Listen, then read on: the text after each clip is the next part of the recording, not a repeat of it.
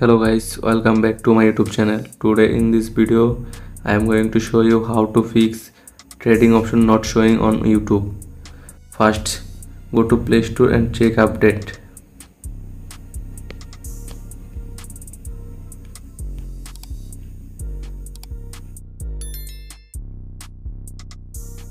Now go to your phone settings.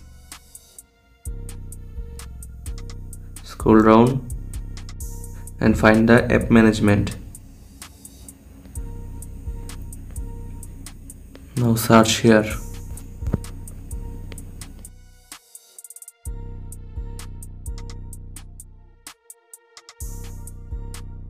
Tap on storage.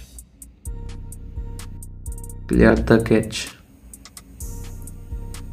After clearing cache, if still trending option not showing, then clear the data.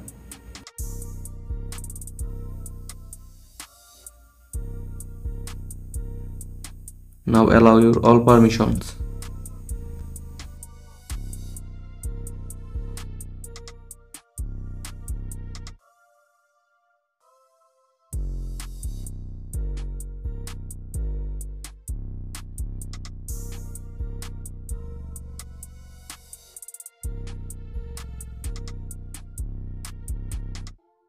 Now restart your device.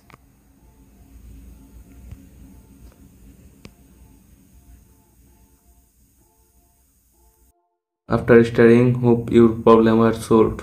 If this method fixed your problem, don't forget to like this video and subscribe this channel.